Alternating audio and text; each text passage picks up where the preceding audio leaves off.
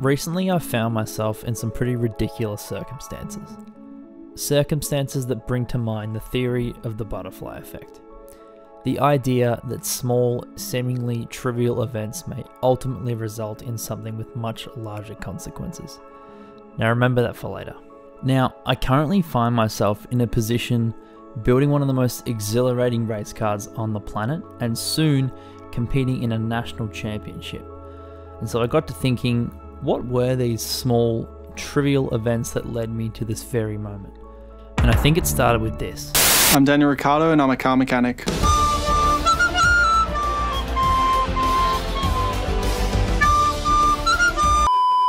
A few days after binging the first season of Drive to Survive, the life altering, poor decision making continued when I found myself explaining to mum why there was a go kart parked in her garage. Now, you would think that it couldn't get any worse, but as you already know from the title of the video, it did. So I quit my job to pursue this radical thing called motorsport. I handed over my convincing resume to Hyperracer and landed myself a job building these cars. I was quite happy just partaking in club level karting events on the weekend. I even managed to take home some decent silverware while I was at it. But I guess that ending would have been monotonous at best, because on an otherwise uneventful Friday morning, some idiot decided to give me a go in a Hyper Racer X1.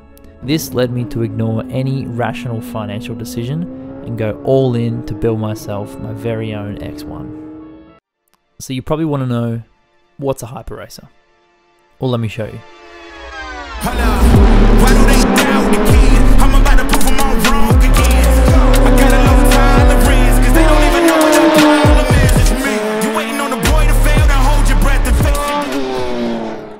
Let me introduce you to John and Dean Crook.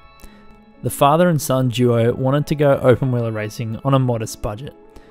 F3 and F4 in Australia have been practically non existent for some time, but will still run you around $15,000 per round. You heard me correctly $15,000 per round. So they designed and built this the Hyperracer X1, a Hayabusa powered space frame design covered in carbon fiber bodywork. An amazing feat of design and engineering on its own, an absolute masterpiece when 20 of them race against each other in a national category. Remember that $15,000 for an F4 round I mentioned earlier? Well, that's good enough for an entire season of national level racing in a Hyperracer. So now that you know how I got here and what we're doing, let's start building the chassis for this thing. Now while I'm well versed in the assembly of these cars from start to finish, I'm not all that handy on the torch, so we're going to need to get ourselves a welder. This guy should do the trick. So this is the main jig. Looks like a mess to the untrained eye, but you'll see how it all comes together soon enough. The chassis starts with the main rails. You got the top and the bottom. But do you see all of that intricate bending? That all used to be done by hand and was incredibly time consuming. But now, thanks to CNC tube bending, a batch of bent main rails is just one phone call from being replenished. Pretty neat. Once all the top main rails have been installed, the rear needs to be cut so they meet up together nicely. Once the same is done on the other side, these get TIG welded into position. The bottom main rails are a little easier as they just get cut to meet up with the bulkheads.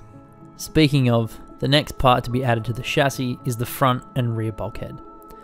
This allows us to mount various components such as the wishbones, steering rack, battery compartment, and so on. To hold these main rails in place, we need to make the cross rails that sit horizontally in the chassis. Previously, these were notched by hand with a Bosch angle grinder, which was about as efficient as Alonso's 2015 McLaren engine. But now we have this. A plasma tube notching machine. This machine uses a chuck as the x-axis and moves the cutting torch along the y-axis. This means that I just need to draw a flat plane DXF file of the tube that I want to cut. I had to do this with every tube, but once it was done, it allowed us to cut 5 cars worth of chassis tubes in a single day. Now that's efficient. Next, we need some protection.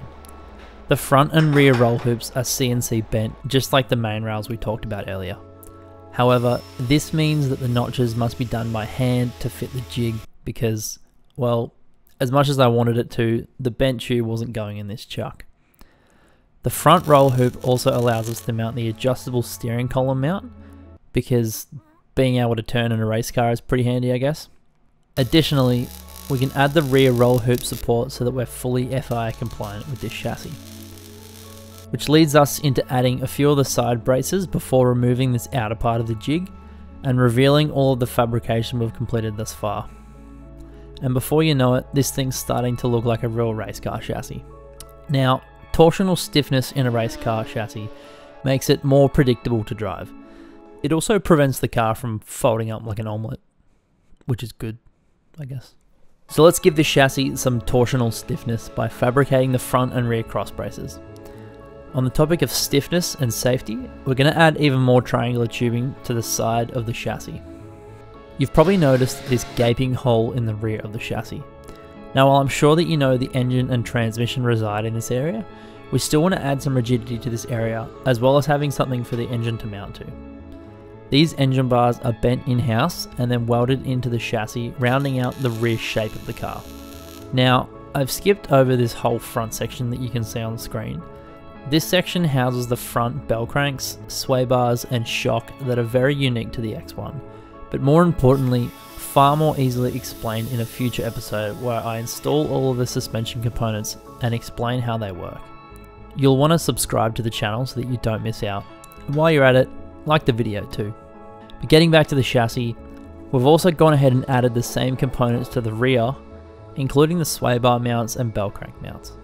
Before we can remove the chassis from the jig table, we can go ahead and add the remaining jigged parts to the chassis, such as the suspension pickup tabs and engine mount bosses.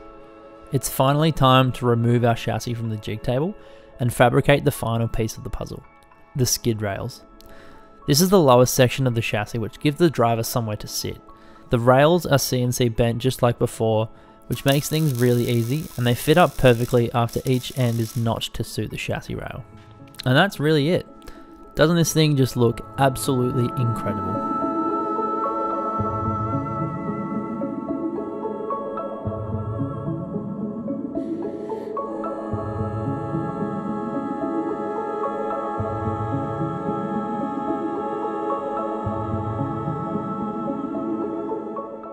But there's more work to be done.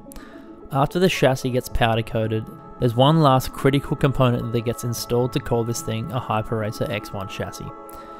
These are the carbon Kevlar side intrusion panels which serve multiple purposes. They add stiffness to the chassis, and they prevent someone else's wishbone from ending up in your lap, or through your leg.